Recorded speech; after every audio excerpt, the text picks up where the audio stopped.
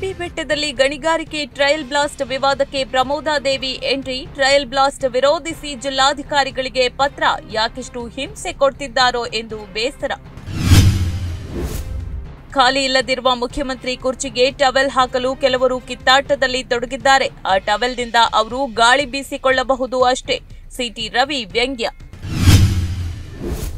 ರಾಜ್ಯದ ಜನತೆ ಸರ್ಕಾರದ ಜನೋತ್ಸವ ಕಾರ್ಯಕ್ರಮವನ್ನ ಮೆಚ್ಚಿಕೊಳ್ತಾರೆ. ಸಿದ್ದರಾಮೋತ್ಸವದಂತಹ ವ್ಯಕ್ತಿಗಳ ವೈಭವೀಕರಣವನ್ನ ಇಷ್ಟಪಡೋದಿಲ್ಲ.